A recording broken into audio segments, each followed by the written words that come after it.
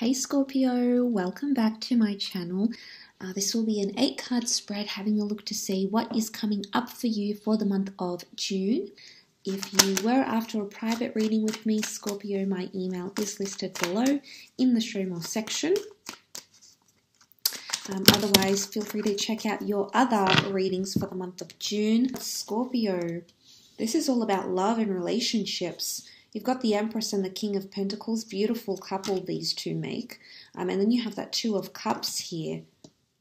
Okay, Leo, the theme of Leo uh, has come up twice in these two cards, so there might be a destined Leo coming in around you, um, or a lot more confidence in a connection, and also King of Pentacles, which is a Taurus. Taurus is ruled by Venus, so an extremely romantic gesture or an extremely powerful meeting this could be a twin flame that you're meeting here, um, Scorpio. Reconnecting with a twin flame or meeting a new twin flame, some sort of very important meeting or date or um, exclusiveness coming in, but it's something it's something you were wishing for. Okay, you've been wishing for this person or for this this ideology to come to fruition, and it's going to manifest because the empress brings things to manifest in the physical realm she you know she's she's the epitome of things that happen that we can experience in our day-to-day lives so the fact that that's happened and she's come up here this is you're going to see things happen in the flesh um, Scorpio. So that's very, very exciting. But you do have the dream card, the wish card. So hopes and dreams coming true, wishes coming true. Could be around a water sign as well, Cancer, Pisces, Scorpio, um, because of the cups. Uh, but this is something that's really going to sweep you off your feet, uh, Scorpio. So I feel like you there's there's there's an a beautiful energy here and look if you have had sort of some some sort of complications in relationships I do think you're going to be strengthening those those things there may be options in love with the two of swords but I think it's more if you've had complications or blocks or barriers or you've been in no contact with someone I think they're about to make contact and I think they're about to make you very very happy so there is that um, excitement coming forward, and you do have two knights. I mean, the Two of Swords and two knights. I don't know if this is two different people coming in for love or for romance, but it could be. Um, there's also someone that could be wishing for you, and they may express this. The King of Pentacles is quite a romantic energy, so I feel like there is someone here who's wanting to show you a bit of romance, but they do it in quite quite a, quite a charming way. It doesn't feel too forced. It feels very natural with the King of Pentacles because he has so much experience. So it could represent this this romantic interest, but it can also be money a powerful partnership, a job interview, meeting for the purposes of uh, to bring in more money, and it could be with someone foreign who is at a distance from you. Uh, but Leo did come up twice, Taurus. So I think you will be enjoying the rewards of something here. I feel like the Empress has it quite good. You know, she's got these lavish surroundings, and then what's beside her here is this knight that's like wanting to offer her even more. Um, so I feel like there is someone who wants to make you some sort of brilliant offer that I think could bring you a lot into your life, whether it be financially or or romantically. Uh, I think they're coming up with this energy here. So there is you do see that Knight of Cups, and he's bringing something forward. He's bringing you know he's he wants to really spoil this Empress who already looks spoiled. So I think there's really good vibes in June. I do. I think there's a lot of hope and magic.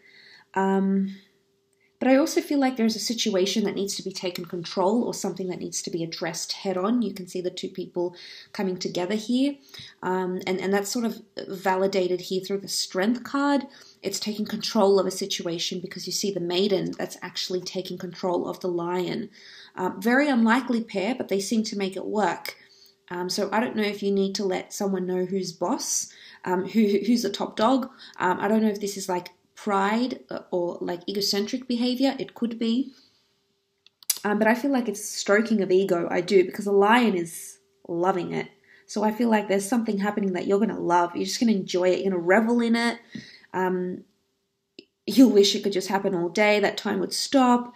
I mean, there is there really is a beautiful energy that is accompanying this Scorpio, and I think it's something deep down you really, really want.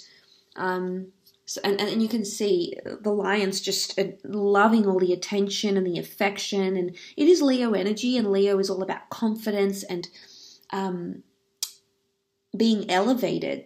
This could even be a promotion for some of you because more money could be coming in.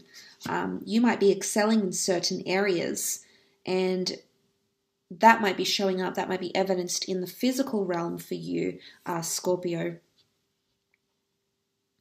Uh, so I like what that represents. And Taurus can also represent ownership and beautiful things. Okay, we do have beauty with the Empress, something about your surroundings. You're beautifying something. You might be perfecting something here uh, a relationship, it could be working on self image, it could be internal or external, it might even be a project you, you, you could be working on, or even multiple projects.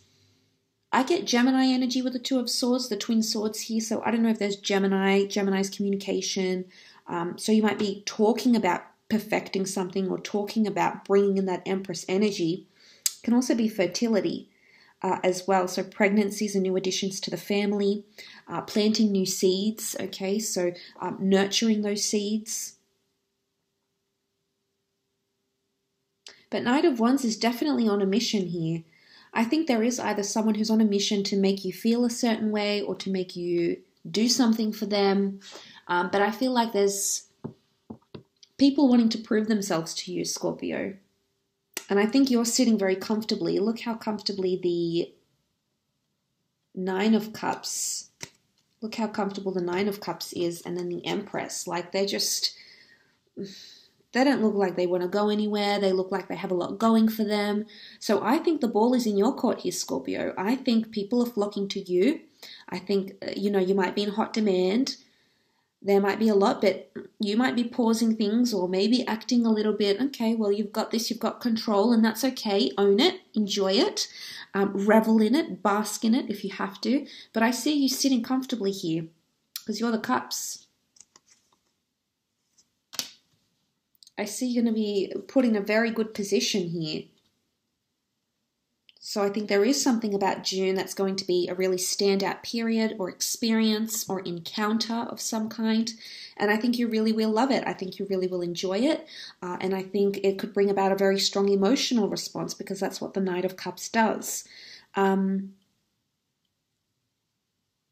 you might even intimidate a few people here, Scorpio. You might even mentally intimidate people you're working with or um, loved ones, eh, people you know you're in a relationship with, and you might induce some fear in them. I don't know if there's confidence. I want to say confidence, but it's like overconfidence. And they're just like, wow, what is going on? I need to step up my game.